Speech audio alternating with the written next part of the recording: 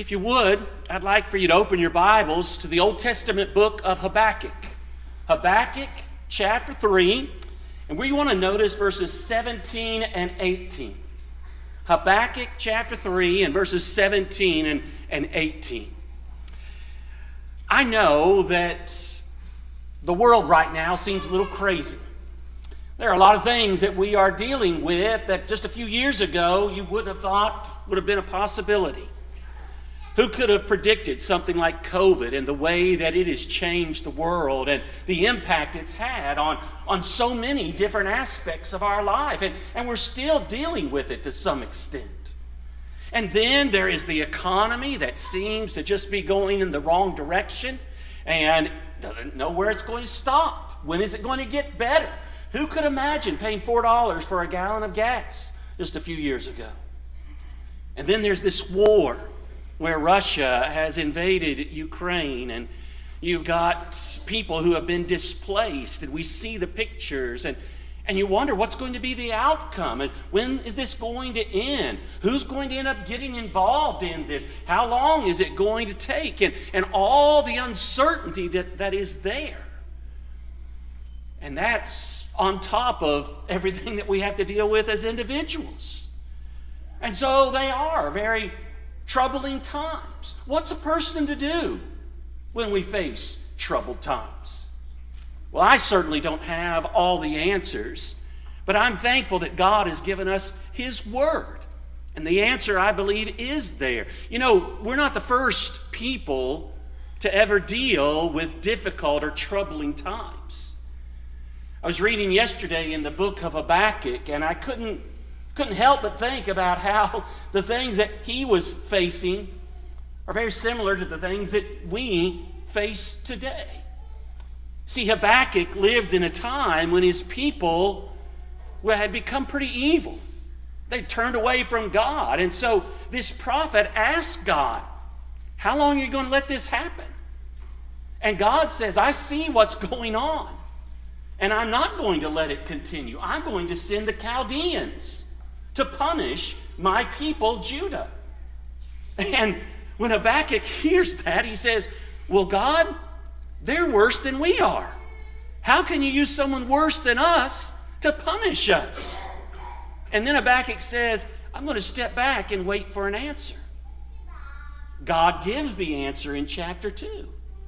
And he explains that he's going to use the Chaldeans and then the Chaldeans will get theirs. You don't need to worry about that, Habakkuk. I'm in charge. In fact, at the close of chapter 2, God reminds him the Lord is in his holy temple. Let all the earth keep silence before him. I think sometimes when we sing that song, we think, oh, that means everybody get quiet. Worship is going to start. No, that verse is telling us God is in control, and He will do what is right. And we can trust in that. So in chapter 3, Habakkuk gives a prayer. And at the end of the prayer, after considering all the troubles that are going on, you get to verse 17, and, here's what the prophet says. And I think this is a, a key for us. What are we to do when there are troubles and there are difficult days. Look at what he writes. Although the fig tree shall not blossom, neither shall fruit be in the vines, the labor of the olive shall fail, and the field shall yield no meat. The flock shall be cut off from the fold, and there shall be no herds in the stalls. If all of these things are gone, if we have all this trouble and all this difficulty, what am I going to do? Verse 18 Yet I will rejoice in the Lord, I will joy in the God of my salvation. No matter what kind of times we're going through, Habakkuk says, I am going to continue to serve the Lord. In fact, there's a, a very powerful verse that's used often in the New Testament here in the book of Habakkuk. It's chapter 2 and, and verse 4, and that's where we're reminded but the just shall live by his faith. When we're going through difficult times, troubling times, what are we to do?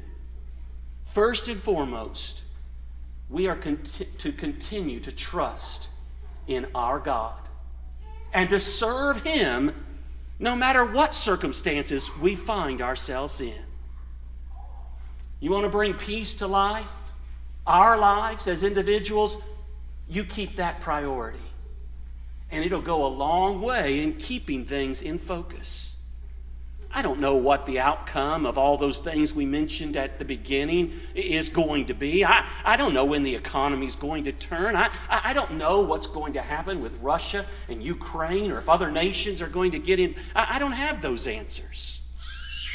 But I do know who we can continue to trust in, no matter what we have to go through. And isn't it wonderful as Christians that we have the privilege of calling God our Father. We're His children, and we can know that He will continue to watch over us. Tonight, if you're here and you're not yet one of His children, we want to encourage you to come to Him in obedience. Be baptized into Christ for the remission of your sins. Become a member of the family of God and then continue to trust in Him no matter what is going on in this world. So, tonight, if you're here and you need to obey the gospel, if you need to come back to your first love, this invitation song's for you. Won't you come as together we stand and sing?